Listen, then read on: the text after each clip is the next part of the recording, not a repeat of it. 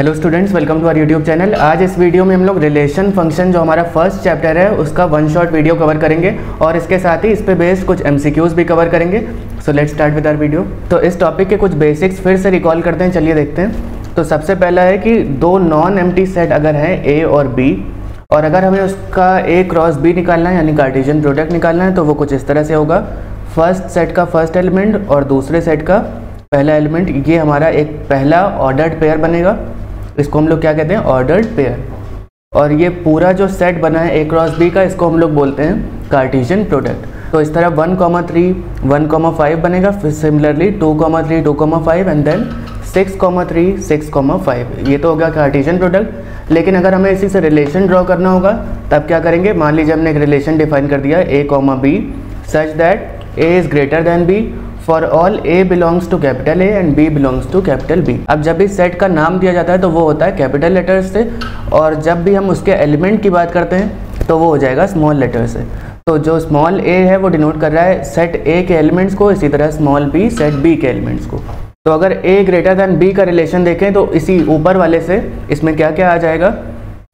तो इसमें आना चाहिए सिक्स कॉमा थ्री और दूसरा आ जाएगा सिक्स कॉमा फाइव ये बता रहा है कि यहाँ पे जितने भी हमारे एलिमेंट्स हैं, जितने भी ऑर्डर्ड पेयर्स हैं, उनमें सभी में रिलेशन कैसा है? A is greater than B यानी पहला एलिमेंट दूसरे एलिमेंट से बड़ा है।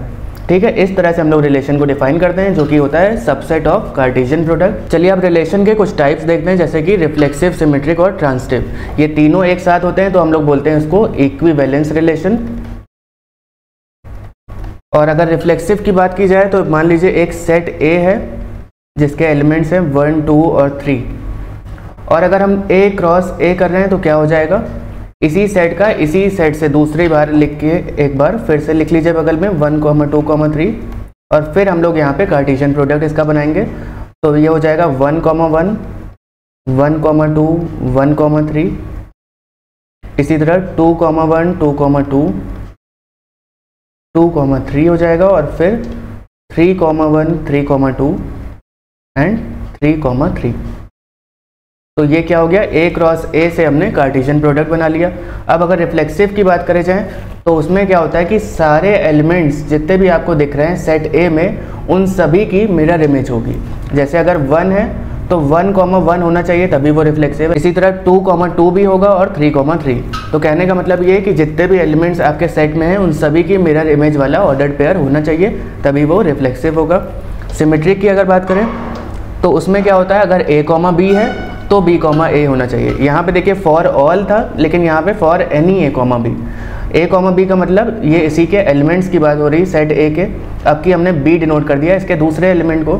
तो यहाँ पे अगर ए कॉमा बी है, यानी कि अगर वन कॉमा टू है तो टू कॉमा वन भी होना चाहिए, तभी वो सिमेट्रिक है। अगर वन कॉमा थ्री है तो थ्री कॉमा वन भी होगा। यानी अगर वन कॉमा थ्री नहीं है तो हम थ्री कॉमा वन के लिए चेक भी नहीं करेंगे। इसी तरह अगर टू कॉमा थ्री है तो थ्री कॉमा टू भी। यानी ये वाला रिलेशन जो है, वो कैसा है? वो सिमेट्रिक भी है।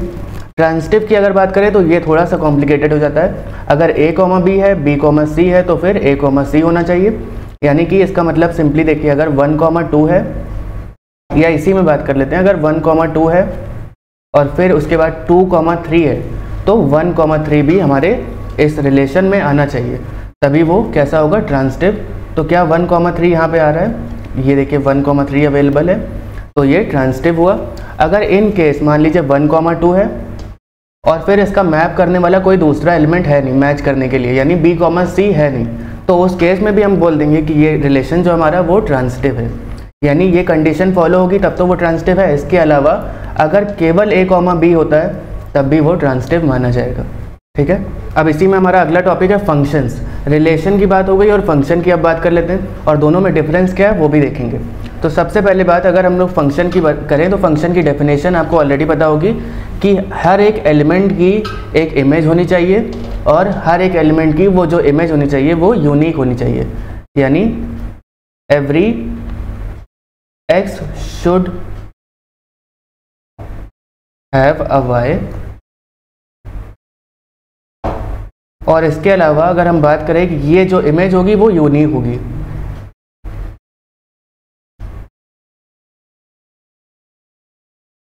अब इस पर थोड़ी सी बात कर लेते हैं। इसको फिर से आपको समझा देते हैं अच्छे से। देखिए, अगर हम लोग ए को वन से मैप कर रहे हैं तो ये कुछ इस तरह से हो गया। ए की जो इमेज हो गई वो वन हो गई। अब यहाँ पे सेट आप देख रहे हैं, दो हैं ए है और बी है। कैपिटल ए और कैपिटल बी कैपिटल ए के जो एलिमेंट्स हैं, उनको हमने स्मॉल एक्स से डिनोट कर दिया है, जो कि हैं A B C D capital B के सभी एलिमेंट्स यानी वन टू थ्री को स्मॉल वाई से डिनोट कर दिया। अब इसी वाले सर्कल को या जो ओवल दिख रहा है, इसको हम लोग बोलते हैं डोमेन और ये जो इधर वाला ओवल आप देख रहे हैं, इसके अंदर जितने भी एलिमेंट्स हैं, उनको हम लोग क्या बोलेंगे? को डोमेन बस डोमेन के आगे, को लग गया। इसी तरह हम लोग यहाँ पे अब देखेंगे दूसरा टर्म है एक रेंज तो रेंज का मतलब क्या हो गया? वो एलिमेंट्स जो कि वाई में हैं और वो एक्स से मैप्ड हैं. जैसे कि अगर हमने कुछ इस तरह का रिलेशन बनाया है तो अब यहाँ पे रेंज क्या हो जाएगी और डोमेन क्या होगी? डोमेन हो गई ए बी सी डी अभी भी वही सेम है. को डोमेन हो जाएगी वन टू थ्री फोर यानी सेट बी के सारे एलिमेंट्स लेकिन रेंज क्या होगी? रेंज विल बी जो भी एलिमेंट्स मैप्ड है, यानी कि वन टू एंड फोर ठीक है? ये इन्हीं को आप बोल सकते हैं कि ये इमेज है उन एलिमेंट्स की जो कि ए में है। तो अगर अगर हम इनको इमेज बोल रहे हैं रेंज वाले एलिमेंट्स को इमेज बोल रहे हैं तो इस साइड ये क्या हो जाएगा? प्री इमेज जैसे डोमेन और कोडोमेन था, वैसे इमेज और प्री इमेज हो गया। अब यहाँ पे एक टर्म आया यूनिक इमेज का। इसका मतलब क्या है? कि हर एक एलिमेंट की यूनिक इमेज होना चाहिए, यानी कि अगर हम कुछ ऐसा कर रहे हैं तो ये भी वैलिड है। इसका मतलब ए की जो इमेज है, वो है वन ए कॉमा वन और बी की इमेज भी वन है, जो कि बी के लिए अपने आप में यूनिक है और ए के लिए भी अपने आप में यूनिक इमेज है। लेकिन कुछ भी ऐसा रिलेशन नहीं होना चाहिए। जैसे कि अगर हम इसको थोड़ी देर के लिए हटा दें इस तरह का कोई भी फ़ंक्शन वैलिड नहीं होता। ये रिलेशन में वर्क करता है, लेकिन फ़ंक्शन में नहीं। इसको हम लोग क्या बोलेंगे? One to many many to one वाला आप देख रहे थे, वो वैलिड है, लेकिन वन टू मैनी ये फ़ंक्शन में नहीं होता। तो जब भी ऐसा कोई केस हो जाएगा so this will not be a function तो यहाँ पे देखिए, क्यों ये फ़ंक्शन नहीं है, इसको समझने के लिए ऐसे समझ सकते हैं कि ए के पास दो इमेजेस आ रही हैं वन और टू जो कि पॉसिबल नहीं। मान लीजिए कोई भी इंसान है, उसकी अपने आप में दो शक्ल नहीं हो सकती। इसको ऐसे भी याद रख सकते हैं हम। लेकिन मैनी वन हो सकता है, हम शक्ल एग्जिस्ट कर सकते हैं। यानी दो लोगों की एक शक्ल हो सकती है। दो लोग हैं और उनकी एक शक्ल हो सकती है। ठीक है, ये वाला वैलिड है। लेकिन किसी एक आदमी की दो शक्ल हो, ये वैलिड नहीं है। तो इसलिए वन टू मैनी एग्जिस्ट नहीं करता। है अब बात करेंगे फ़ंक्शन में एक इंपॉर्टेंट केस की, जिसको कि कहते हैं इन्वर्टिबल तो इन्वर्टिबल फ़ंक्शन तभी होता है जब वो वन वन भी हो और ऑन टू भी हो, यानी कुछ ऐसा केस होगा, जब एक एलिमेंट की एक ही इमेज है तो उस केस में ये वन वन है और इसमें को डोमेन में कोई भी एलिमेंट खाली नहीं है। तो इसलिए इसको हम लोग क्या बोलेंगे? ऑन टू फ़ंक्शन यानी को डोमेन जब रेंज के बराबर हो जाएगी तो उस केस में वो ऑन टू हो गया। और अगर वन वन भी है और ऑन टू भी है तो उस केस में हम लोग बोलेंगे it is a bijective function और बाइजेक्टिव फ़ंक्शन क्या होते हैं? इन्वर्टेबल होते हैं, उनका इन्वर्स निकाला जा सकता है। ठीक है? अब इसके बाद एक टॉपिक आपका आता है कॉम्पोजिट फ़ंक्शन और बाइनरी ऑपरेशन कॉम्पोजिट फ़ंक्शन काफ़ी सिंपल है। अगर एक एफ़ एक्स है टू एक्स के बराबर और जी एक्स है फाइव एक्स स्क्वायर तो अगर हमें एफ़ ऑफ़ जी एक्स निकालना है, यानी फॉग ऑफ़ एक्स निकालना है तो उस केस में ये क्या हो जाएगा? आपको जी एक्स की जगह सिंपली जो गिवन है, वो लिख लीजिए एक ब्रैकेट के अंदर। अब ये फ़ंक्शन ऑफ़ एक्स में हमें क्या पुट करना है? Five X square function of X क्या था? इनिशियली टू एक्स है। टू को एज इट इज़ रहने दीजिए और एक्स की जगह जहाँ पे भी एक्स है, वहाँ पे क्या आ जाएगा? फाइव एक्स स्क्वायर तो ये हो जाएगा टेन एक्स स्क्वायर के बराबर, यही इसका आंसर है। अगर हमें जी ऑफ़ एफ़ एक्स निकालना है तो उस केस में देखिए g के अंदर हम लोग पुट करेंगे एफ़ एक्स का फ़ंक्शन यानी g ऑफ़ टू एक्स हो जाएगा। और अब ये पूरा पूरा टू एक्स जाएगा जहाँ पे भी अगले फ़ंक्शन में, यानी जी वाले में एक्स है। तो फाइव को एज इट इज़ रहने देंगे स्क्वायर बाहर लगा रहेगा। और x की जगह हो जाएगा 2x तो अब ये क्या हो जाएगा? 5 इंटू फोर यानी कि 20 एक्स स्क्वायर तो इस तरह से डिफ़र करेंगे फॉग और गॉफ में. ठीक है? इसके अलावा अगर हमें एफ़ ऑफ़ एफ़ निकालना है, वो भी निकाला जा सकता है. तो अब क्या होगा? दो बार उसी फ़ंक्शन में पुट करेंगे. यानी एफ़ एट टू एक्स हमें निकालना है. यहाँ पे क्या पुट कर दिया? टू एक्स तो अब ये टू एक्स अगर पुट होगा एक्स की जगह तब क्या हो जाएगा? टू एज इट इज़ रहेगा और एक्स की जगह टू एक्स यानी फोर एक्स इसका आंसर आ गया। तो ये है कॉम्पोजिट फ़ंक्शन अब बात करेंगे बाइनरी ऑपरेशन की। यहाँ पे तीन मेजर केसेस आएँगे कम्यूटेटिव एसोसिएटिव और आइडेंटिटी कम्यूटेटिव का मतलब अगर ए प्लस बी है तो b प्लस ए ये दोनों इक्वल होंगे। आपको ऑलरेडी पता है, a इंटू बी और b इंटू ए भी इक्वल होते हैं। अब यहाँ पे ये जो एस्ट्रिक है, इसका मतलब मल्टीप्लाई नहीं है। इसका मतलब जो भी आपको क्वेश्चन में फ़ंक्शन गिवन होगा। कई केसेस में प्लस हो सकता है माइनस हो सकता है डिवाइड हो सकता है, जैसा भी रहेगा। एसोसिएटिव में ऑलरेडी आपको पता है ब्रैकेट्स का अंतर रहता है ए एस्ट्रिक बी अगर हम पहले सॉल्व कर लेते हैं और फिर क्रॉस सी और फिर एस्ट्रिक सी अगर करेंगे तो वो उसके बराबर आएगा A asterisk B asterisk C के। यानी कि अगर हमने बी एस्ट्रिक सी को पहले सॉल्व कर लिया और फिर अपना फ़ंक्शन इस तरह से सॉल्व किया ए एस्ट्रिक तो ऐसे भी सेम आंसर आएगा। अगर आइडेंटिटी की बात करें तो यहाँ पे दो केसेस आएँगे एडिटिव आइडेंटिटी और मल्टीप्लिकेटिव आइडेंटिटी इसको थोड़ा सिंपल टर्म्स में समझते हैं। मान लीजिए फाइव लिखा है तो फाइव में हम ऐसा क्या ऐड कर दें कि हमें फिर से फाइव मिल जाए? बहुत ही सिंपल सा क्वेश्चन है ज़ीरो ऐड कर दें। इसी तरह अगर फाइव लिखा है और इसमें हम क्या मल्टीप्लाई कर दें कि हमें फिर से फाइव मिले? तो वो होगा वन यानी हम क्या बोल सकते हैं कि zero is the additive identity addition वाली आइडेंटिटी क्या होगी ज़ीरो और वन इज़ मल्टीप्लिकेटिव आइडेंटिटी इस तरह के इसके क्वेश्चन रहेंगे। अभी हम लोग एमसीक्यू में भी इसको डिस्कस करेंगे। तो अब यहाँ पे आपके लिए एक इंपॉर्टेंट नोट है इंपॉर्टेंट कॉन्सेप्ट है। इसको भी एक बार देख लीजिए। हो सकता है आपको पता भी हो ऑलरेडी लेकिन एक बार रिकॉल कर लेते हैं। अगर total number of common elements हमें बताना है ए क्रॉस बी और बी क्रॉस ए में तो वो होंगे एन स्क्वायर के बराबर। अगर सेट ए और सेट बी में दोनों में एन एलिमेंट्स कॉमन है तो उस केस में क्या होगा? दोनों के कार्टिजन प्रोडक्ट अगर हम लोग वैसे वर्षा करके निकालते हैं ए क्रॉस बी और बी क्रॉस ए तो उनमें जितने कॉमन एलिमेंट्स होंगे, वो होंगे एन स्क्वायर के बराबर। इसको क्वेश्चन से समझते हैं, मान लीजिए ए इंटरसेक्शन बी यानी सेट ए और सेट बी में जितने भी नंबर ऑफ़ एलिमेंट्स कॉमन है, वो 50 के बराबर है। एन आगे लगा दिया, इसका मतलब कार्डिनल नंबर की बात हो रही है। तो अब आपको बताना है कि ए क्रॉस बी और बी क्रॉस ए यहाँ पे इसका इंटरसेक्शन का मतलब क्या हो गया? एंड हो गया एक तरह से। तो A cross B and B cross A दोनों में कितने एलिमेंट्स कॉमन होंगे? तो वो होगा 50 स्क्वायर के बराबर। तो अब चलिए कुछ एम देख लेते हैं। इसी टॉपिक पे based let R be the relation in the set one two three four given by R is equal to one comma two two comma two till three comma two तो आपको बताना है कि ये रिलेशन कैसा होगा। तो इस केस में देखिए, सबसे पहले आपको बताना है कि ये रिफ्लेक्सिव है सिमेट्रिक है कि ट्रांसटिव है। तो अगर हम लोग यहाँ बात करें रिफ्लेक्सिव के सारे केसेस क्या दिख रहे हैं हमें? इन वन टू थ्री फोर के मिरर इमेजेस वन वन है टू टू है थ्री थ्री भी है और फोर फोर भी यानी ये रिफ्लेक्सिव है। ठीक है, अब देखते हैं सिमेट्रिक के लिए। अगर वन कॉमा टू है तो टू कॉमा वन अवेलेबल नहीं है, इसलिए ये सिमेट्रिक नहीं हुआ।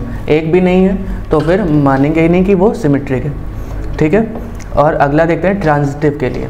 देखिए ट्रांजिटिव के लिए वन कॉमा टू है और इसका कंपेयर करने वाला अगर देखें टू कॉमा टू तो फिर से आप देखिए यहाँ पे वन कॉमा टू है अवेलेबल है। अगला देखते हैं इसी में ट्रांसटिव के लिए। अगला देखिए वन कॉमा थ्री है और थ्री कॉमा टू है। तो ये वाला थ्री और ये वाला थ्री मैच कर रहा है, इसका मतलब वन कॉमा टू होना चाहिए, जो कि ऑलरेडी है। यानी ये ट्रांसटिव भी है। इसका मतलब ये केवल सिमेट्रिक नहीं है, बाकी ये रिफ्लेक्सिव भी है और ट्रांसटिव भी है। तो ऑप्शन बी यहाँ पे सही हो जाएगा। Let A be the set. 1 2 3 then the number of equivalence relation. 1 comma 2 is. Then the number of equivalence relation containing 1 comma 2 इसका मतलब इक्वेलेंस रिलेशन वो होते हैं जो रिफ्लेक्सिव सिमेट्रिक और ट्रांसटिव भी होते हैं। तो आपको बताना है कितने ऐसे रिलेशन होंगे इक्वेलेंस जिसमें वन कॉमा टू आएगा। तो अगर आप सॉल्व कर पा रहे हैं तो उसको थोड़ा सा वीडियो पॉज करके ट्राई करिए। तो इसमें देखिए ऑप्शन टू यहाँ पे सही होगा। और क्योंकि दो केसेस बनेंगे, इसका देख लीजिए एक्सप्लेनेशन केस वन में आपका सिंपली बहुत छोटा सा सेट बनेगा। हमेशा रिफ्लेक्सिव तो दिखाना ही है। तो वन वन टू टू और थ्री थ्री दिखा दिया। और उसके अलावा सिमेट्रिक अगर दिखाएँगे तो वन कॉमा टू है अगर तो टू कॉमा वन भी होना चाहिए। सारे दिखाने की ज़रूरत नहीं है। तो एक तो ये छोटा सा रिलेशन बन गया जिसमें वन कॉमा टू आ रहा है। ट्रांसटिव की बात करें, आपको पहले ऑलरेडी बताया था कि अगर वन कॉमा टू है टू कॉमा वन है तो वन कॉमा वन भी है। ठीक है? तो ट्रांसटिव भी ये होगा। तो इस केस में एक तो ये बन गया, दूसरा क्या बनेगा? दूसरे में आपको थोड़ा सा लेंदी लेके चलना पड़ेगा, उसमें सारे केसेस दिखाएँगे। वन थ्री के भी थ्री वन के भी। तो इस तरह से दूसरा केस जो होगा, उसमें भी आपका रिफ्लेक्सिव तो आ ही रहा है। उसके अलावा उसके अलावा सिमेट्रिक भी है। देखिए वन कॉमा टू है टू कॉमा वन है वन कॉमा थ्री है तो थ्री कॉमा वन भी है। तो आपको चाहिए क्या था? वन कॉमा टू यहाँ पर आ रहा है बिल्कुल। और इसी तरह ये क्या होगा? टू कॉमा थ्री है तो थ्री कॉमा टू भी तो ये कैसा रिलेशन हो गया? यहाँ पे कितने रिलेशन बन रहे हैं, जिसमें इक्वेलेंस रिलेशन भी है और वन कॉमा टू भी है तो वो होगा दो। चलिए अगला क्वेश्चन क्या आप सॉल्व कर पा रहे हैं? इसको ट्राई कीजिए। What type of relation R one comma three four comma two two comma four two comma three three comma one on a set A containing one two three four ये कैसा होगा? Reflexive तो ये हो नहीं सकता, बिल्कुल भी नहीं है, क्योंकि one one two two three three four four ये बिल्कुल एग्जिस्ट नहीं कर रहे। सिमेट्रिक की अगर बात करें तो अगर वन थ्री है तो थ्री वन है। अगर फोर टू है तो टू फोर है। टू थ्री है तो थ्री टू नहीं है। तो इसका मतलब ये सिमेट्रिक नहीं हुआ। बहुत ध्यान से आपको देखना होगा। ट्रांसटिव के लिए देखते हैं। तो ट्रांसटिव के लिए अगर यहाँ पे वन कॉमा थ्री है थ्री कॉमा वन है तो वन कॉमा वन होना चाहिए, जो कि नहीं है। तो इस केस में नन ऑफ़ दीज हो जाएगा। कुछ भी यहाँ पे एग्जिस्ट नहीं कर रहा है। ऑप्शन डी उसका सही हो जाएगा। अब यहाँ पे फिर से एक इंपॉर्टेंट कॉन्सेप्ट आया इसको एमसीक्यू की तरह ही समझ लीजिए। अगर एक सेट है वन कॉमा टू जिसके एलिमेंट है तो how many binary operation can be defined on this set तो उसका सिंपल सा फॉर्मूला होता है नंबर ऑफ़ बाइनरी ऑपरेशन का एन की पावर एन स्क्वायर एन क्या है? मतलब जितने भी एलिमेंट है। तो टू की पावर टू स्क्वायर यानी कि टू की power four which is sixteen तो ये भी एक नया कॉन्सेप्ट है, इसको भी ध्यान से देख लीजिए। तो चलिए अगला क्वेश्चन देखते हैं। Function F from A to B defined as F X is equal to four X plus seven where X belongs to real number तो ये कैसा होगा? वन वन तो ये होगा ही होगा, जहाँ पे हम लोग F X one is equal to F X two let करके चलते हैं। मैनी वन मान के चलते हैं, लेकिन धीरे धीरे वो वन वन प्रूव हो जाता है। और इसके अलावा ये ऑन टू भी होगा, इसको सॉल्व करके देखिएगा, लेकिन क्योंकि ऑप्शन में है नहीं तो केवल हम वन वन ही यहाँ पर टिक कर देंगे।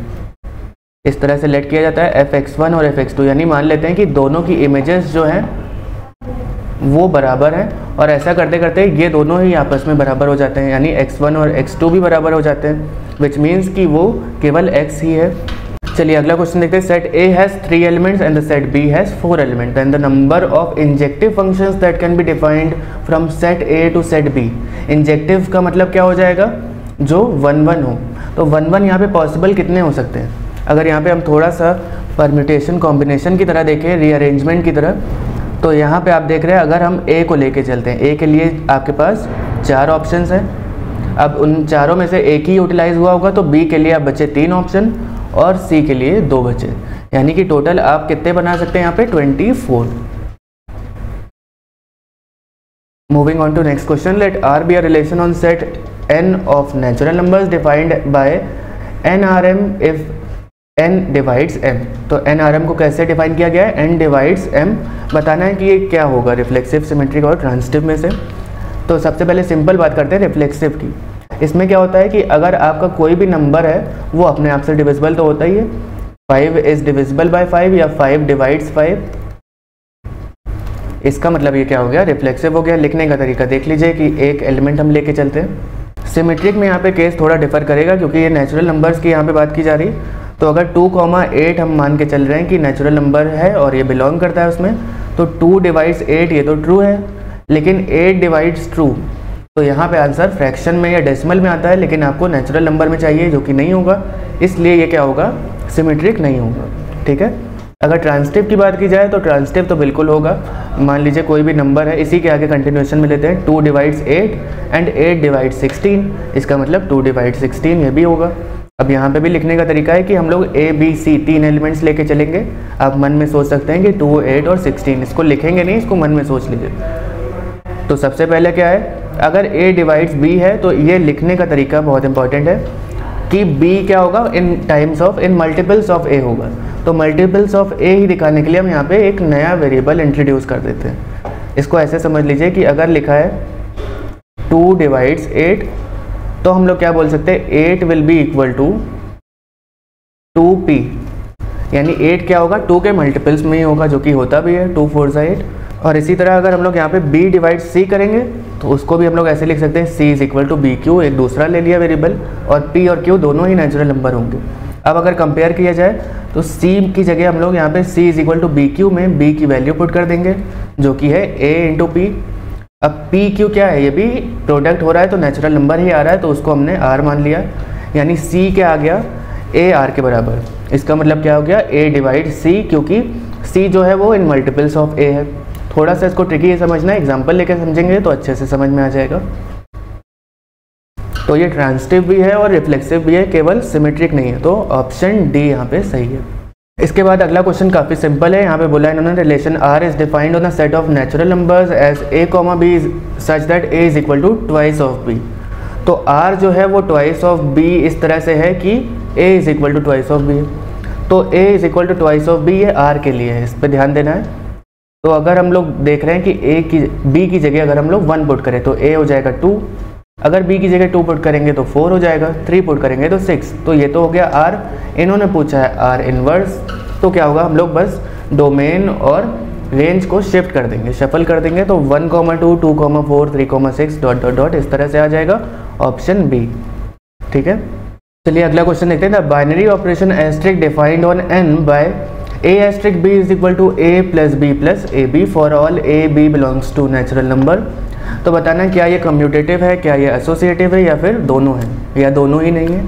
तो चलिए देखते हैं इसको कम्यूटेटिव के लिए क्या करेंगे। ए एस्ट्रिक बी अगर देखा जाए तो वो ऑलरेडी डेफिनेशन से बोल रहा है कि A plus B plus A B के बराबर है। तो अगर हम लोग बी एस्ट्रिक ए निकालेंगे तो क्या हो जाएगा? बी की जगह ए और ए की जगह बी आ जाएगा। तो क्या ये दोनों इक्वल नहीं है? इक्वल है, इसका मतलब ये कम्यूटेटिव होगा। चलिए अब इसी तरह एसोसिएटिव के लिए देख लेते हैं। ए एस्ट्रिक बी सॉल्व किया और फिर एस्ट्रिक सी करते हैं। ए एस्ट्रिक बी की डेफिनेशन देख रहे हैं आप, ऊपर लिखिए A plus B plus A B और इसका एस्ट्रिक सी से करना, यानी फिर से वही ऑपरेशन लगेगा। अब आप इसको थोड़ा सा सिंगल टर्म लेकर ट्रीट करिएगा, तब समझ में आएगा।